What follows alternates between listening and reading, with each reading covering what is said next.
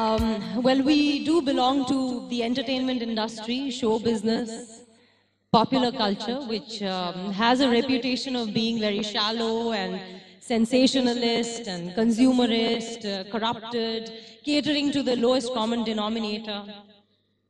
I've heard this many times um, from a lot of my producer, financier friends, distributor friends. that ऐसा कुछ बनाओ जो मतलब you know front stalls में जो बैठते हैं उनको समझ में आना चाहिए we have to cater it to the lowest common denominator and I find it extremely offensive um, not because you know I am a part of these art house esoteric films which are so obscure that no one watches and because they don't cater to the lowest common denominator but because I think it's a very elitist attitude to consider that there is something like an enlightened minority versus a degraded majority and that majority is not going to understand something which is sophisticated and we have to only give them some a, a dumb crass form of entertainment. I think that's extremely offensive and elitist and um, when I debate this with some of my friends in Bombay, they say that, listen, don't make something elitist, make it for the rickshaw walas. Rickshaw wale ko samajh mein aana chahiye. So I give them an example of actually a rickshaw wala whom I met um, a few years ago when I was shooting a film in Shanti Niketan, which is uh, in, a, in a village in West Bengal near Bolpur um, where uh, Rabindranath Tagore established this beautiful university. So in one of the days when I had a break, I went to the university to take a tour and I took a cycle rickshaw. And I went to the museum, I went to uh, the various art galleries, and then thereafter my rickshawala took me to a bungalow and he told me that this is Amartya Sen's bungalow, you know, the great economist and the Nobel laureate. And I was like, wait a minute, you're a rickshawala. How do you know about Amartya Sen? You know, back in Bombay, many of my friends don't know about him. Then he took me to another place which had a lot of banyan trees, and he spoke about um, some of Tagore's poems. He recited those poems to me. He explained the meaning of those poems, and then he talked about the great English poet W.B. Yeats, his friendship with Tagore. And I was totally confused. I was like, why are you riding a rickshaw if you know so much? You must be so educated. And you know what he said to me? He said, no, I'm a fifth standard dropout. Uh, everybody knows this here. It's hearsay. We listen to these stories right from our childhood. You know, it's popular culture in Shantiniketan. Maybe it's a small set of people, but that is what pop culture can be. When I tell my friends back in Bombay about this story, they say, oh, oh come on, you Bengalis. So then I give them another example. A few months back, I went to Kerala for a film festival. And I saw villagers queuing up to watch not only my films, but films like I, Daniel Blake, which is a Cannes winner by a British director called Ken Loach. They knew everything about that director. I was like, how is that happening? And I figured that in Kerala, the government has actually been doing a lot to promote film culture for many years. They have a traveling cinema festival, which goes to various parts of the uh, state and different villages and showcases different films from various parts of the world. They have art festivals, music festivals. So through years, it has created a culture which is at an elevated level. If I use this example back again with my friends in Bombay, they say, oh, Kerala and Bengal, please leave them alone. So I'm picking up a recent example from Marathi film. Sairat. And those of you who are Maharashtrian would absolutely know about this film. It, it was a blockbuster. It was a huge success. It made 100 crores at the box office, you know, that 100 crore club. And it's probably the most successful Marathi film ever made in terms of box office. It had no big stars. It had uh, like a completely new cast.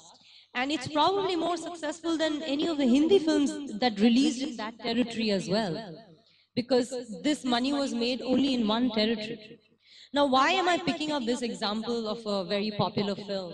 Is because on the surface, it had a very a known plot, Romeo Juliet.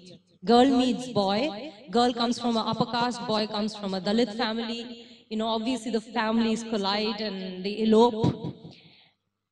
It seems a very regular plot of a Hindi film. We've seen it so many times. But what is so unique and different about Sairat? It picks up a plot which is familiar.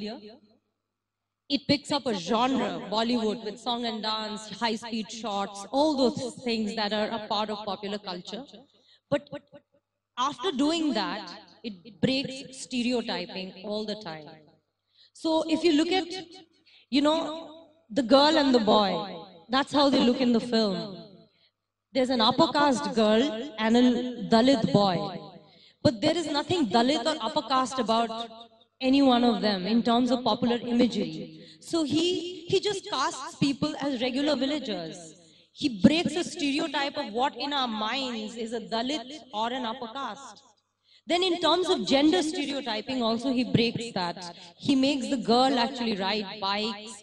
He makes the girl drive a tractor. He makes the boy's character in sync with, with his uh, softer sides. He cooks very well at home. He takes care of the home. And he comes first in class.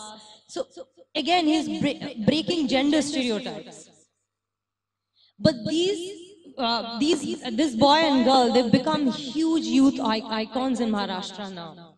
So they have been embraced. It's not that you have to reinforce the kind of stereotyping that we always look through popular imagery. So here I've given two sorts of examples. One is of, you know, people who've slowly grown into uh, an elevated culture because they have been exposed to certain things right from their childhood. And then there's an example where the creator, you know, the director of the film, Nagraj Manjule, he's created a space where he's picked up something very popular and yet inserted things which are breaking the stereotype rather than reinforcing them. Unlike an ad like Fair and Lovely does, which reinforces stereotyping. So you can do both with pop popular culture. The onus is not on the consumer, the onus is on the creator. So to dismiss the consumer by saying that it's lowest common denominator, they like this, so that's what we give them, I think that is extremely lazy and elitist on, on the part of the creator. Now, what is culture actually? Culture is something that we grow up with. The most difficult and the most esoteric ideas can be very easily accessible if they are a part of us right from our childhood. The biggest examples of these are, you know, children of classical musicians. At the age of five, six, seven, eight, they are able to play instruments or, you know, sing so beautifully because they've grown up in that culture. Many gymnasts and ballerinas are also, they also come from, from that tradition. And recently I heard that a little, a young boy, um, Udit Sanghi, who's become a rage in, uh, in programming, in uh, and because, you know, he's probably brought up with those ideas right from his childhood. His father's a professor in IIT Kanpur. And so he's, he's a rage in uh, competitive programming and he's only in 8th standard. So you can sometimes decode extremely difficult stuff if you are brought up in that atmosphere. It is, it's, it's what you're brought up with and that is what culture is. Now in a country like India where we are still groping with very basics, you know, struggling with basics like food, water for everybody. Isn't culture a very elitist pursuit? You know, theater, music, art, poetry. Why am I even talking about all these things? But I don't think so. I think culture is everything. Culture is the language that we communicate in. Culture is our own spaces, our surroundings, the way we keep our homes, the clothes we aspire to wear, the way we treat another person, the way we treat our kids, our environment, our rivers, our forests, our animals, what we impart to our children, everything is a part of culture and it actually establishes the moral fabric of our society. It is the backbone of that moral fabric. So we cannot dismiss culture by saying it is an elite pursuit. It is not. It is everything. It's everything that, that actually uh, contains our perceptions and attitudes towards our surroundings. And popular culture has a very significant role in propagating these thoughts and ideas. And when I'm saying that, I don't necessarily mean that popular culture has to always be educative and declamatory and preachy. Actually, Sairat as a film was never that. It never gave a speech about honor killing or caste politics. It just told a story. Culture is also extremely important in economy. We think that, you know, culture has nothing to do with economy, but that's not true. Uh, in, historically, we know that all the imperialistic uh, countries have always ruled their colonies through cultural domination first, and then they've traded. When the British or the French went to any colony, what they did first is told uh, their subjects that, you know, we are a superior culture, so learn this from us. They always found out what are the problems with the local culture and then started uh, establishing language schools, religious institutions, and that's how they actually uh, started trading. When we buy into products like Coca-Cola or a torn jeans, or, uh, you know, we are not only buying the product, we are buying into their culture. We, when we consume Hollywood films, we are buying into that culture. We start uh, thinking about all these cool cars and the way people live there, and we buy into that culture. Tomorrow, if a huge pop icon actually comes to us and tells us that, oh, actually bicycles are cooler than all these designer cars, we might actually start riding bicycles. I took a rickshaw today and I enjoyed that ride a lot. So the thing is that influencers and icons create trends which the rest of us start aspiring. And slowly that aspiration becomes our aspiration for mass culture. So influencers in popular culture are extremely important and significant and the role of influencers is extremely responsible as well. It's a, response, a role of responsibility. You know, being a part of the industry, which is culture for so many years, I've always realized that, that when you have so much power, which popular culture does, there is a huge responsibility. And I think the influences of all these elements of pop culture, they could be uh, public intellectuals, entertainers, political thinkers, or social thinkers. They can create trends and be role models which can make a difference. And they have to do it in that way.